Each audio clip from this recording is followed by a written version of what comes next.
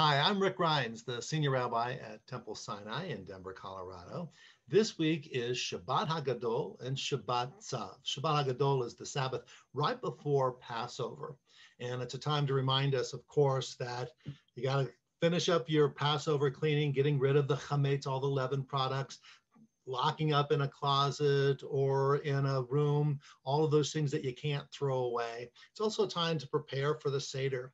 Now, we can't always have guests over right now. We're still in the COVID season, but we're arranging for the Zoom Seders, and some of our close loved ones can be over with us. But then going through the Haggadah, preparing for the Seder, preparing for this week of Passover.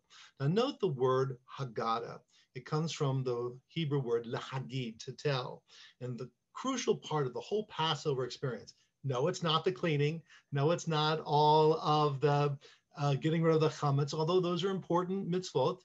It's all about the telling, the to tell the story of our ancestors' redemption from Egyptian slavery, and also to remind the loved ones that we have now, to remind each other that we all have stories of redemption. We all have stories of overcoming incredible experiences and challenges, to learn from them, to be inspired by them, to empower people to realize that together as a family, as a community, that we can find a sense of a better tomorrow. Now, this week's Torah portion, Tzav, doesn't seem to blend easily into that mitzvah of lahagid, to tell the story of Passover. Indeed, it doesn't mention Passover at all. It's chapters six, seven, and eight of the book of Leviticus. And it starts off with laws about the olah, the, the whole offering that was burnt both in the morning as well as in the evening.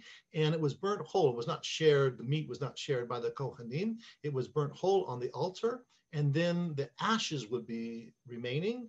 And the Kohanim would have to then remove the ashes and prepare it for the next day. So as we look through it, we would go, it's just all about sacrifices again and about what the priest has to do here and what they can wear and what they can't wear and uh, what do you do with uh, this sacrifice or that and so it's hard for us in the modern era some 2000 years after the destruction of the temple in which we had the cessation of the sacrifices you think well how does this relate to me in any way and certainly how does it relate to me with passover and so i wanted to get back to the the removal of the ashes in Hebrew, it's deshin, deshin or ashes.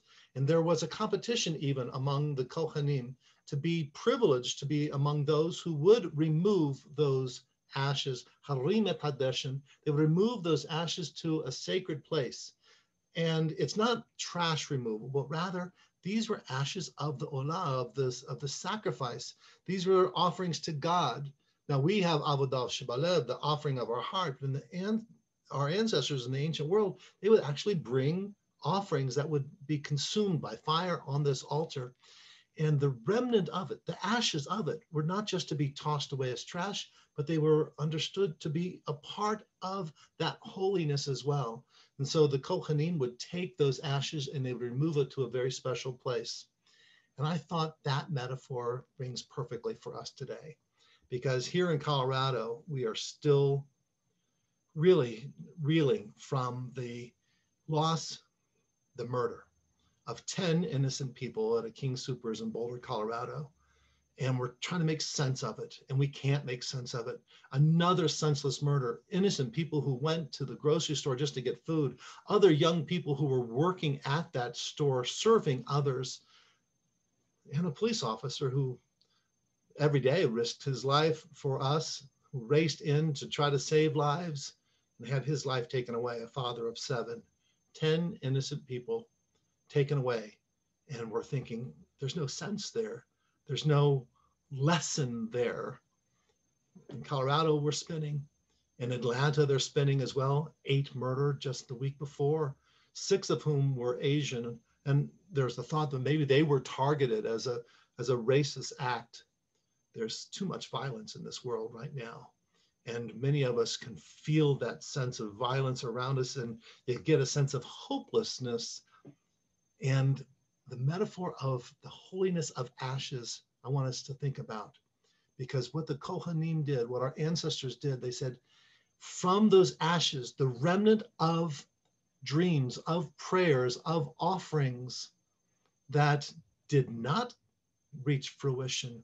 Our prayers over the past year, our hopes over the last year, our plans over the last year, they, they became ashes. Weddings either canceled or moved to different dates. B'nai mitzvah, bar, bar mitzvah boys and girls who worked so hard to have their services all changed. Our programs, our uh, gatherings for the community to celebrate our lives together, all in ashes. But just because they became ashes doesn't mean they aren't holy. Those dreams and those hopes that we had are still there. Those ashes contain the seeds of tomorrow's hopes and dreams.